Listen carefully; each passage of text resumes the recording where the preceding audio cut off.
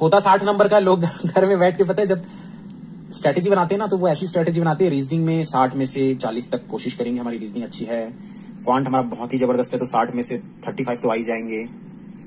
Actual number आते हैं, वो आते पंद्रह, बारह लगता है वो। तो आपको इसमें टेंशन लेने की ज़रूरत नहीं है, क्योंकि हर किसी के ऐसे नंबर आते हैं। आपको एक फ्रेज दे देगा, बोलेगा, फलाना फलाना। फलाना फलाना? ये क्या हुआ? है? फलाना डिम्पा कुछ भी लिख देते हैं यार। है है है फलाना ढिमका? फलाना डिम्पा ढिमका? वाले? तो फ्रेज एक दे दिया है फलाना डिम्का वाले सर। अब यहाँ पर देखो इसका आपको बोलेगा कि भाई इसका क्या कोड इसका स्टेप नंबर